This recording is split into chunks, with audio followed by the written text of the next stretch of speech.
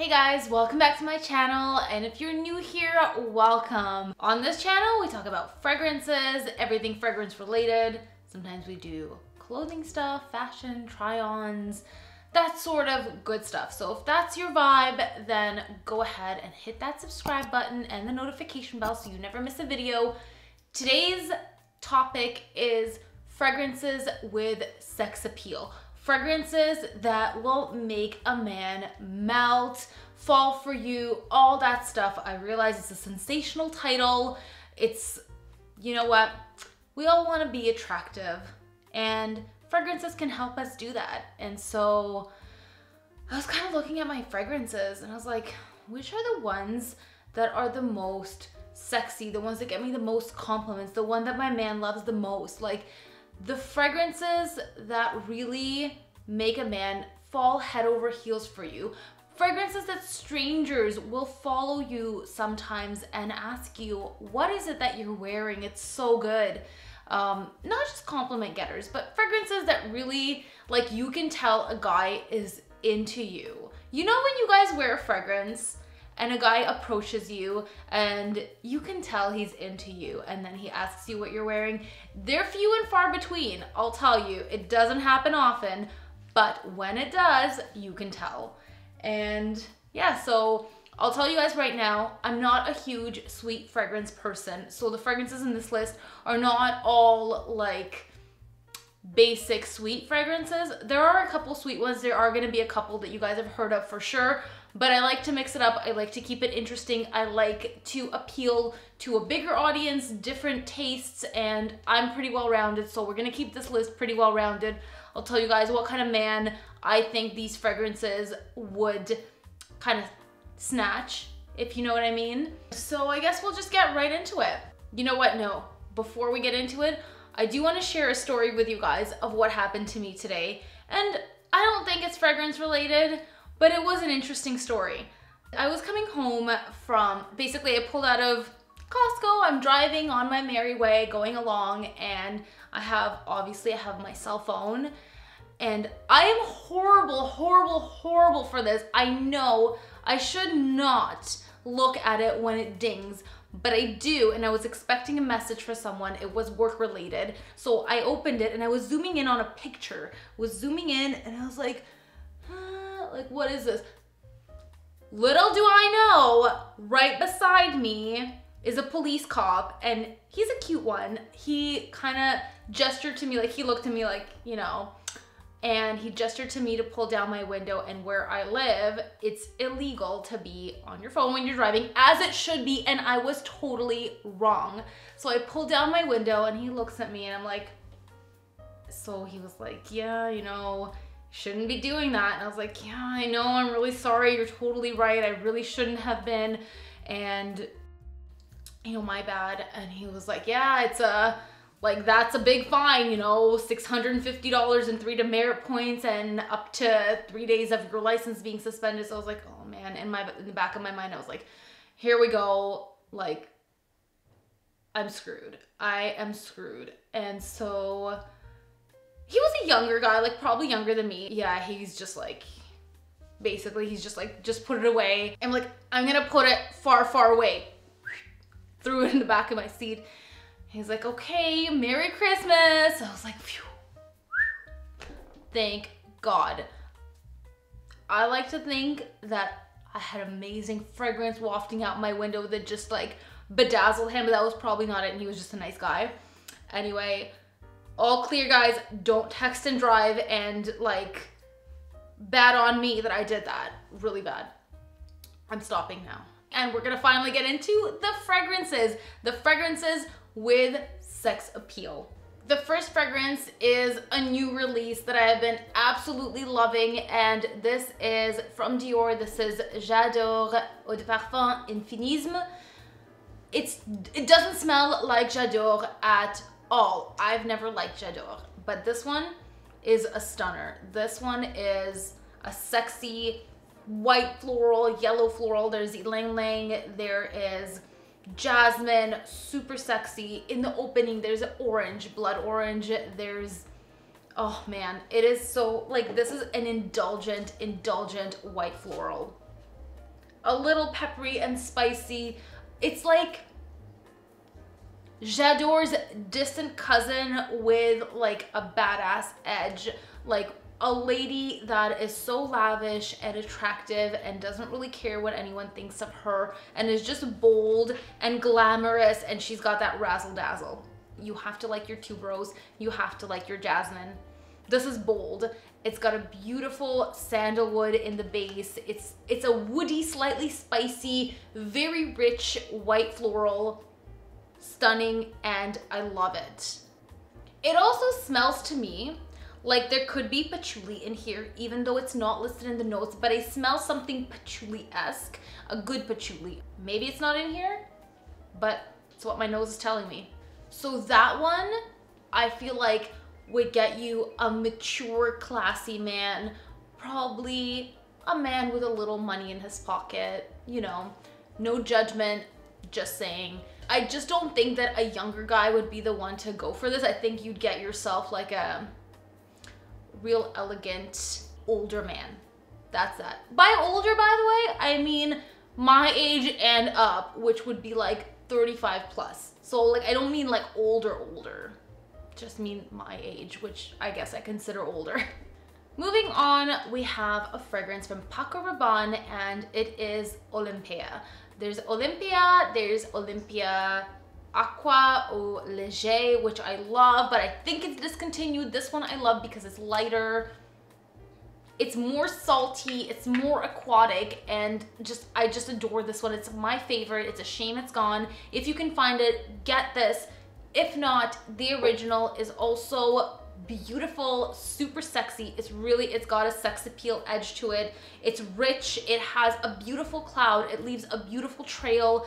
It is intoxicating, salty, sweet, caramel, like indulgent and rich and this one's for all ages. Like this one is, I mean, I don't really want to assign ages to anything, but I just feel like the J'adore that I mentioned before was a little bit more mature, whereas like this one's for anybody. Like I guess 20 plus. It's a playful, flirty, very sexy fragrance.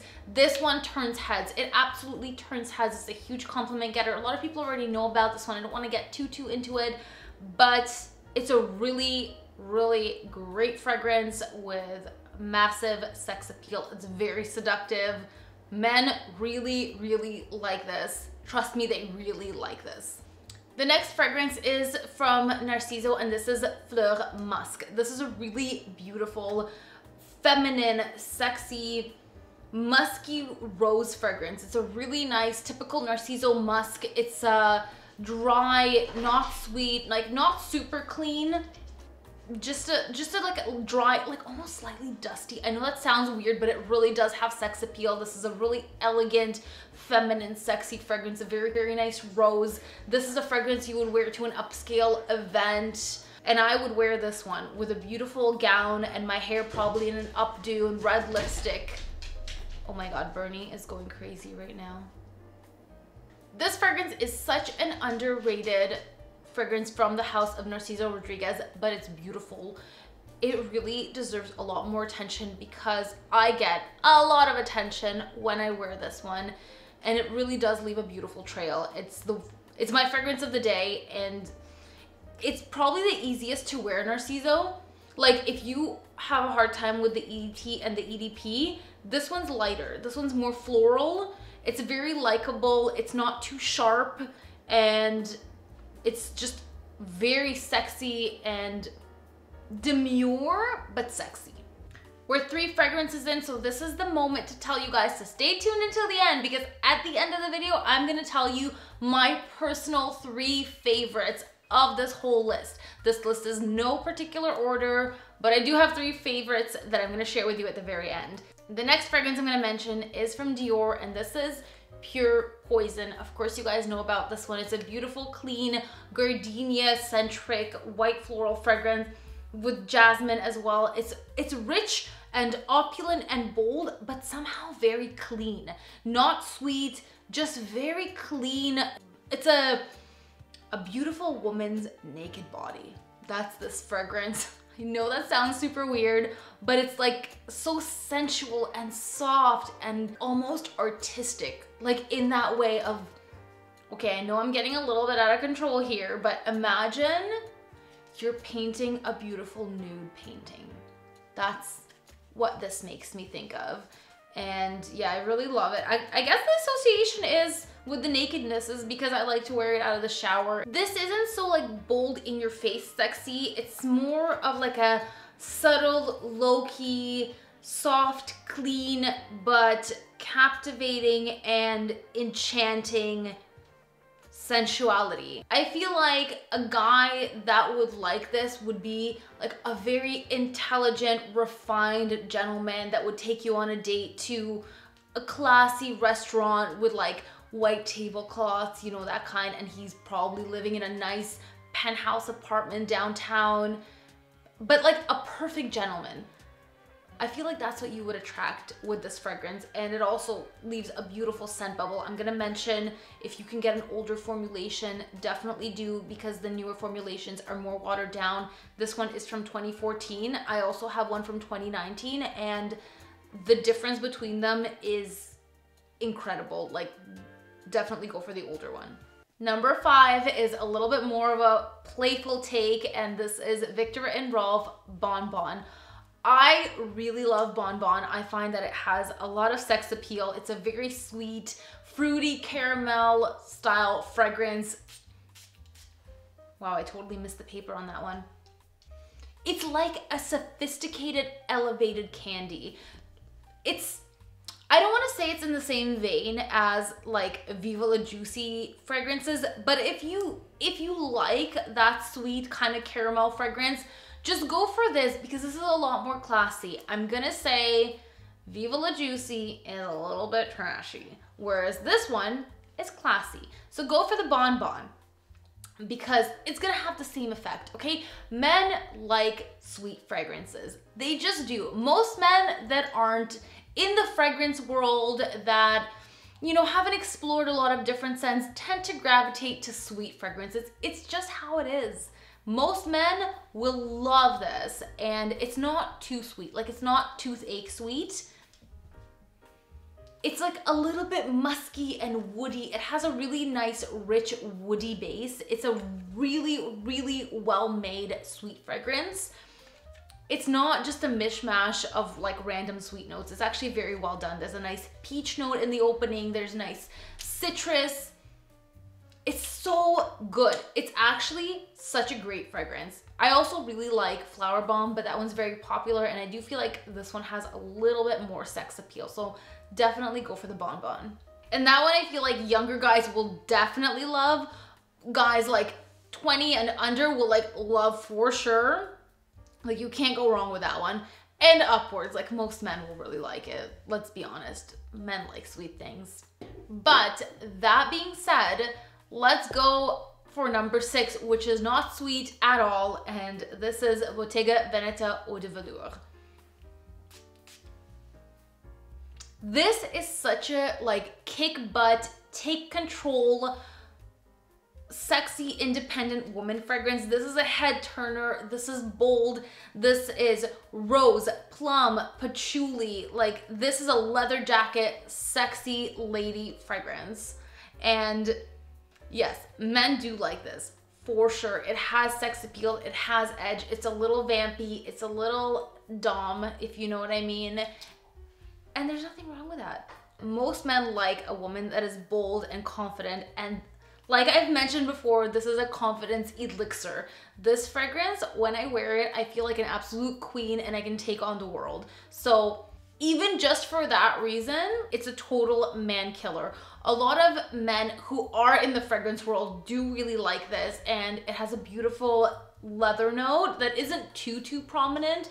It's there just enough to just be like a little bit animalic, a little bit edgy. And a man that's gonna like this is probably into fragrances himself. So there you go. You guys are gonna have something to talk about. And yeah, it definitely has sex appeal but not sweet at all. Like that fragrance is the polar opposite of Bon Bon. Those two are completely different. One is very sweet, one is very playful, the other one is very take charge, bossy, not sweet at all. And yet both of them are very, very attractive. The next fragrance is from Yves Saint Laurent and this is Libre Intense. Libre Intense is a really boozy, sexy, more vanilla rich take on the original. It is a great evening scent. It is sweeter. It has a lot of lavender. It's a very unique smell. This one is gonna be a head turner because it does smell very different and it creates a huge cloud. It, the sillage is incredible. When I wear this, like I've worn this to work and people can smell it when I walk through the door. So that's a good 20 feet. Like, okay, I overspray, but I, I don't overspray that bad. And even though my office space is very open, 20 feet is a lot maybe 15. 15 to 20 feet, I haven't measured, but anyway, it projects. That's the point I'm trying to make is it really projects, it catches attention. Oh my God, this fragrance is something else. Like this makes me melt inside. I think this is super sexy. This is just like, to me, I would go for a woman that smelled like this. I love the original as well, but this one is more of like an evening version of it. It's richer, it's more boozy, sexy, vanilla, a lot of nice white florals. It still smells very clean. It still has that same original DNA as the YSL Libre. I did a full-on comparison, so I'm gonna link that video up at the top for you guys. It is just such an attractive scent. You know, like you just wanna keep smelling it. That's that's this fragrance. And I think that it would be perfect for anybody. So that's why it's on this list is it would be perfect for anybody from their 20s and probably even under to as long as you want to date for. Okay, next fragrance, I promise I'm gonna be super quick because you guys know Alien. Alien's my favorite. I freaking love Alien. Jasmine, rich, sensual, a little bit animalic, bold, very classy men tend to like this. Men that aren't into fragrances really don't like it. So know know your man and know who you're trying to seduce. You know what I mean? This fragrance is bold. It is unapologetic and that's the kind of man you're gonna attract with this. I really love it. I think it's super duper sexy. The projection and trail on this fragrance is out of this world. It is like nothing else. It fills a room and for those people that do love it, it is a very mysterious, captivating, enchanting fragrance. It's really, really good. We're down to the last two. So number nine is Chanel Coco Mademoiselle. I've talked about this many times as well, and I'm not gonna get too into it. I've done a comparison of the Intense and the original Coco Mademoiselle. This one, even though isn't sweet, isn't, you know, caramel, isn't musky, isn't all these things that tend to be a fragrance with sex appeal, this one definitely has sex appeal for sure. And it's very classy. This is like, imagine a woman in a suit, a beautiful woman with her hair tied back and red lipstick on and glasses in a beautiful skirt suit or not a skirt suit, whatever. This is this fragrance. Imagine you're a guy and you run in to this gorgeous woman in an elevator and then it's like an awkward three floors down and you just like, you're captivated by this woman. Coco Mademoiselle, that's this. That's what it smells like. It's a citrusy, rosy, patchouli fragrance. There's something about the scent that will never leave your mind. Like once you smell it, you're gonna be thinking about it. And men absolutely love this. Most men that I know adore this fragrance. And I kid you not, like I swear I'm not lying.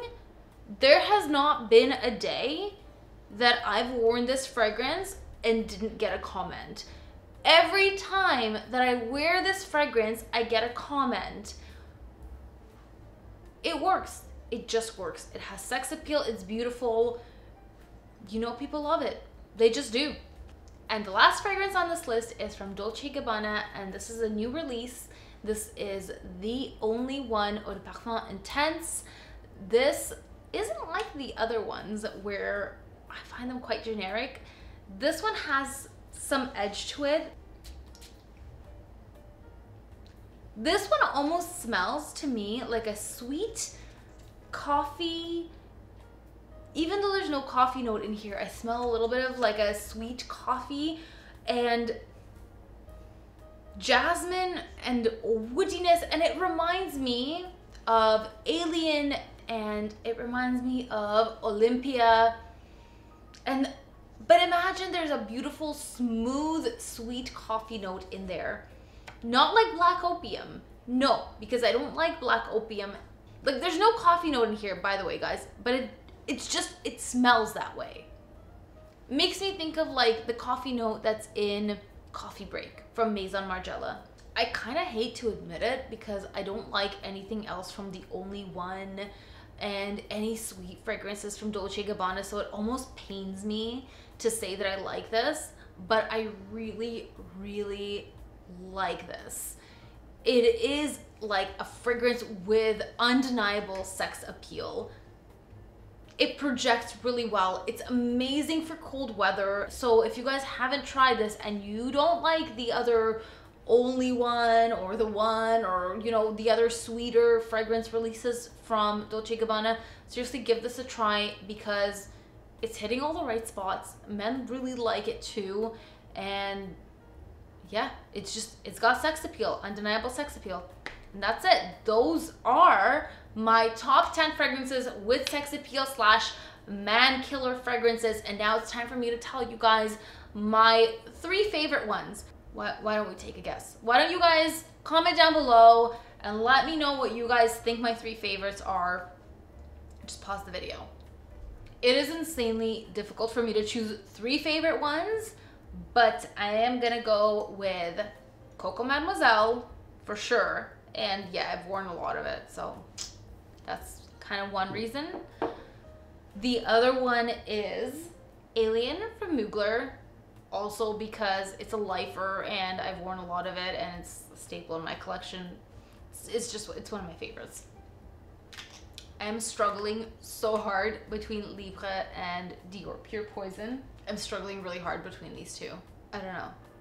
I kind of want to say Pure Poison, but I also really love this one. I don't know, guys. I guess they're a tie. Sorry. Sorry. There's four. Two of them are on number three, and that's these two. Sorry, I lied. Sometimes I lie. I said three, but there's actually four.